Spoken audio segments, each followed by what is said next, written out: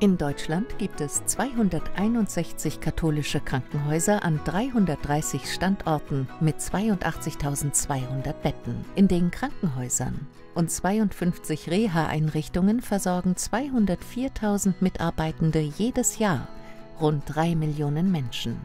Aber nur Zahlen erklären nicht, was die katholischen Krankenhäuser ausmacht.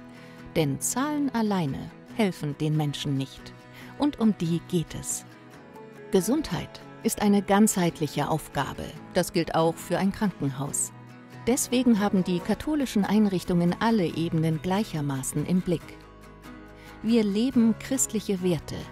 Für uns stehen die Menschen und ihr ganzheitliches Wohlergehen im Mittelpunkt.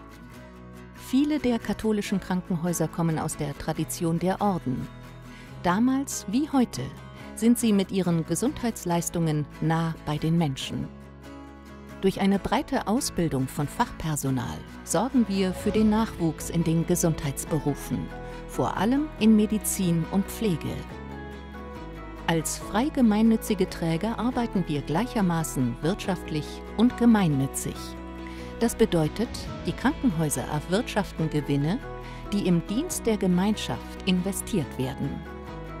Unsere Einrichtungen setzen auf moderne Spitzenmedizin und hohe Qualität nah bei den Menschen und ihrem Wohnort.